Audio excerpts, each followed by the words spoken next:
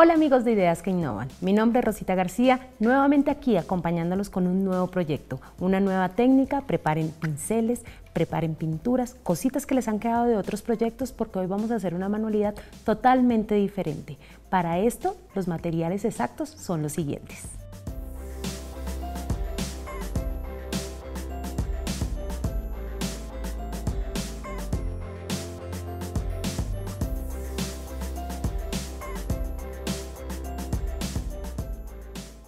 Bueno, lo primero que tenemos nosotros que hacer para realizar este hermoso cuadro es tener una base, vamos en este caso, utilice color vainilla con un pincel y vamos a dejarla secar totalmente. Luego voy a trabajar otro tipo de colores, en este caso vamos a trabajar una pintura caramelo y vamos a utilizar un pincel para brocha seca. Este quitamos el exceso y vamos a trabajarlo de esta manera. Vamos a empezar con los bordes en el mismo sentido como trabajamos la base con el pincel. Entonces vamos a empezar de arriba hacia abajo, haciendo líneas, acentuando los bordes. Lo primero que nosotros tenemos que acentuar son nuestros bordes y lo vamos a pasar de lado a lado. Tomo carga, quito el exceso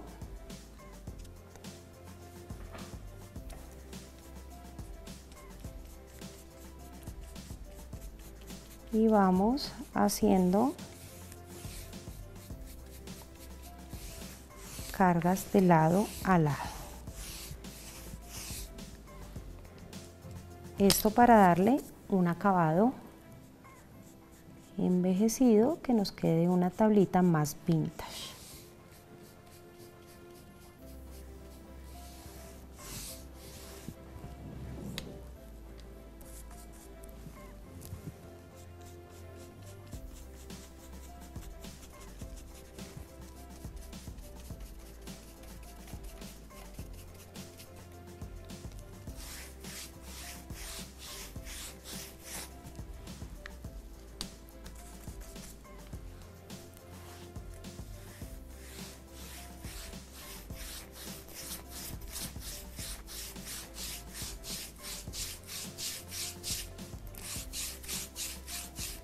El pincel al pasarlo varias veces, como estamos trabajando un pincel de brocha seca, al pasarlo varias veces va a ir soltando poco a poco el color que tenemos en nuestro pincel y vamos a ir cambiando el color de base que tenemos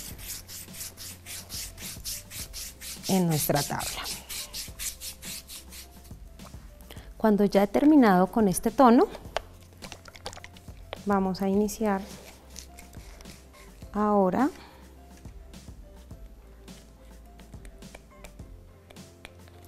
con una pintura en color naranja.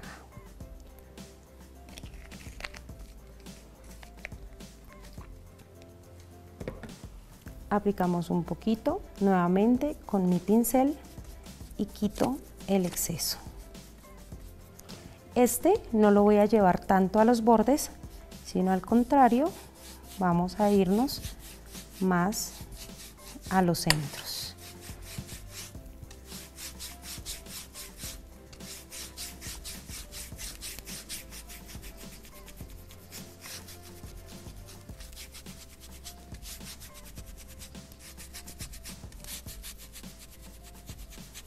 Esto para darle acabados más envejecidos. Primero trabajamos los centros y ahora vamos a acentuar nuevamente un poco más nuestros bordes. Suaves y no en todas las no en todas las partes como si lo hicimos con el primer color. Vamos ahora a trabajarlo de un color mucho más suave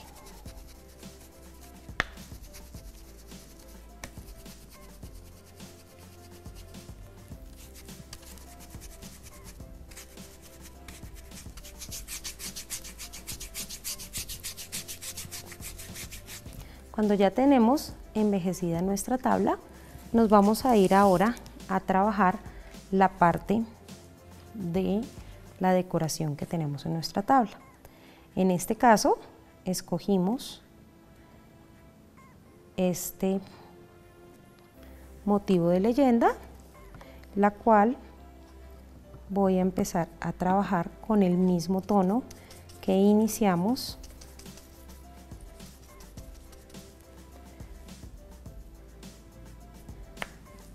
en la sombra con un pincel nuevamente, pincel, brocha seca, simplemente en forma circular, suave. Vamos a empezar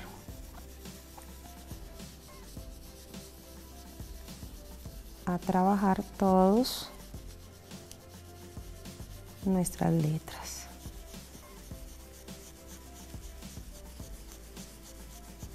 Esto lo debemos hacer suave para no dañar nuestro stencil y al mismo tiempo para poderle dar la intensidad del color que nosotros querramos en nuestro, en nuestro cuadro.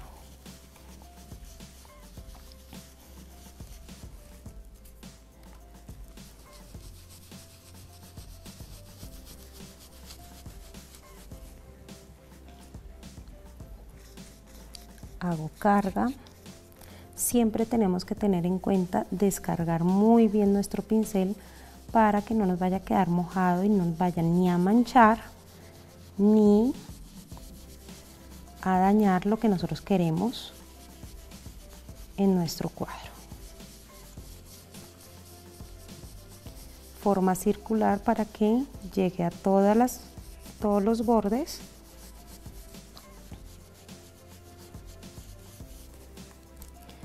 siempre teniendo con la otra mano que nosotros estemos trabajando, vamos a sostener muy fuerte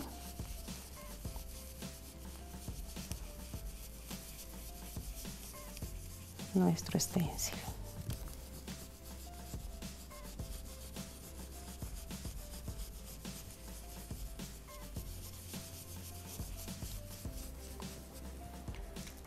Voy a centrar Ahora, mi casita.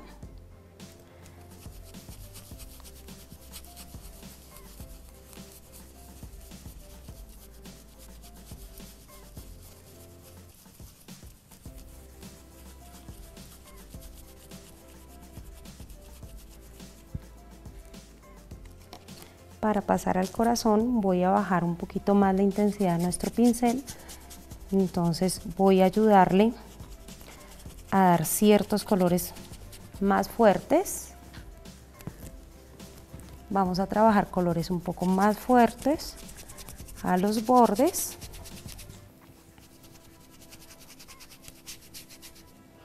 Y nuevamente me voy con nuestro color naranja. Este lo voy a centrar en el centro de mi casita y vamos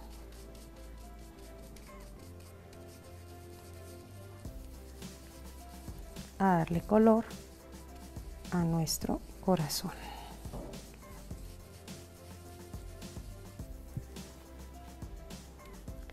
Retiramos el stencil y nuevamente quitamos carga de color pero ayudando a acentuar un poquito donde va a quedar el letrero. ¿Por qué con el letrero? Porque al otro lado vamos a trabajar unas pinceladas muy básicas que nos van a ayudar a darle un mejor acabado a este cuadro. Cuando ya lo tenemos aquí listo, me voy a ir con un color verde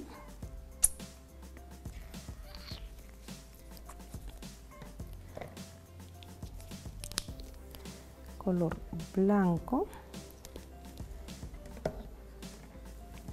y voy a tomar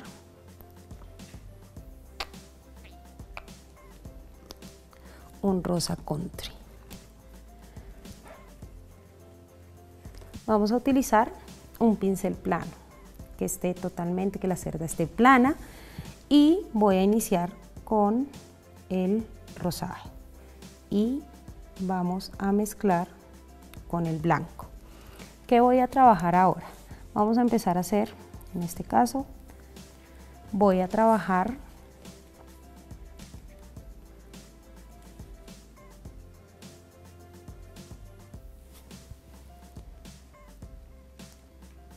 Vamos a hacer primero los botones.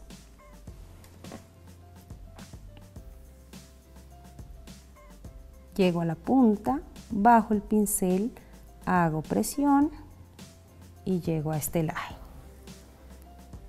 Lo vamos a repetir en esta parte. Tomo pincel, aplano, hago medio círculo, levanto nuestro pincel, ahora bajo, aprisiono hacia el siguiente lado y vuelvo a tomar este lado.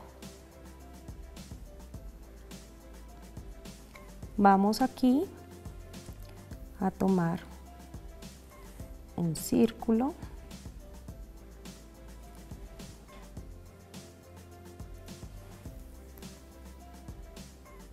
hago el centro de mi flor y vamos a empezar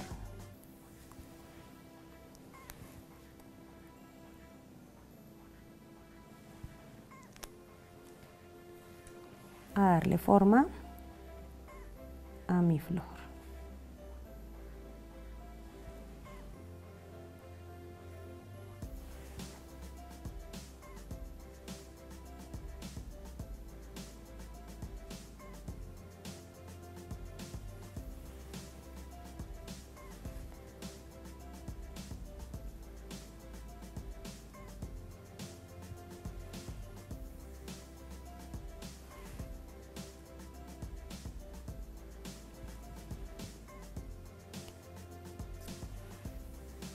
Nuevamente aquí voy a hacer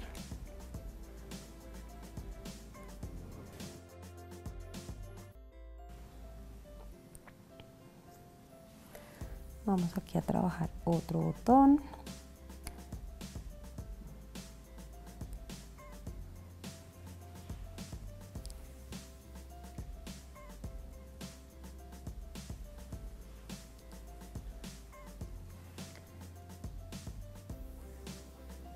otro botoncito un poco más abierto.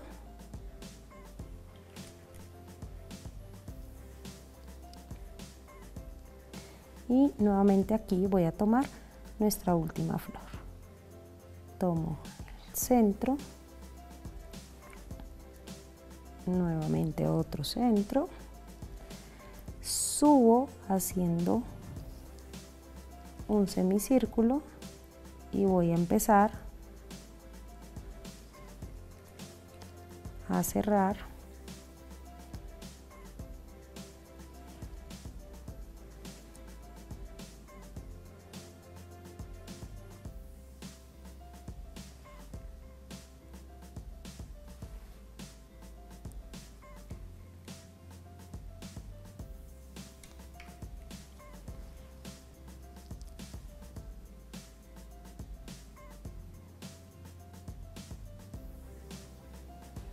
Cuando ya lo tenemos así, vamos ahora a irnos con el verde, sin limpiar mi pincel. Simplemente voy a tomar otro lado, verde blanco y vamos a empezar a trabajar toda la parte de la decoración y follaje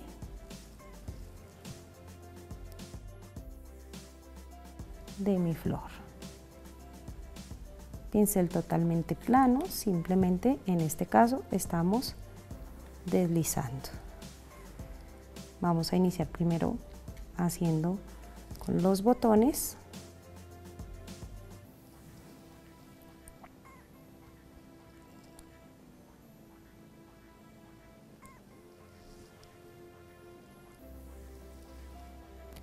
largos a los bordes, cortos hacia la parte del frente.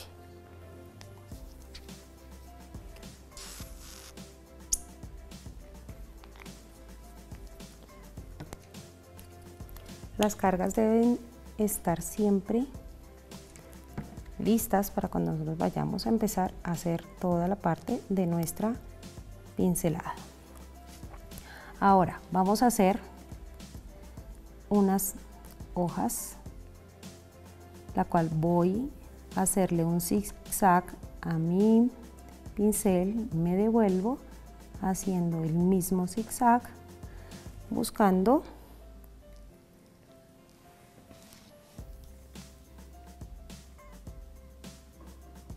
unas hojas muy delicadas.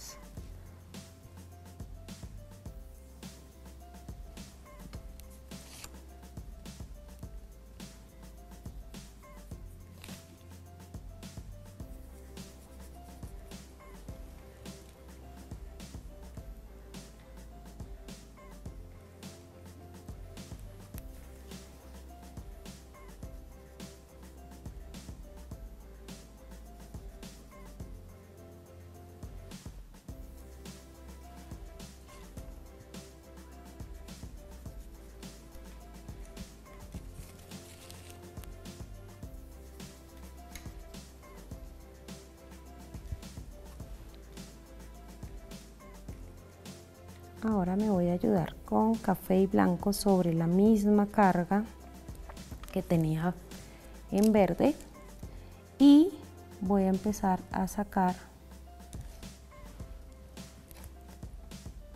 unas hojas más largas.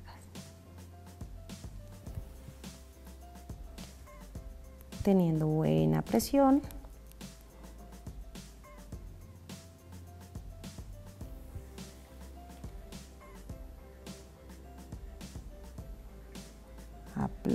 deslizo y voy subiendo.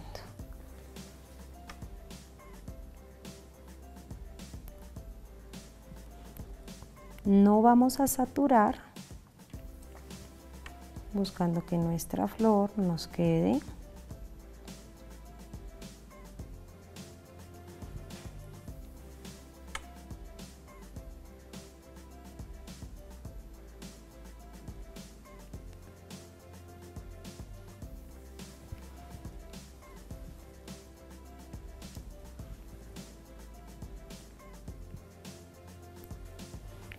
puedo trabajar unas flores muy pequeñas, unas hojitas muy pequeñas, acabando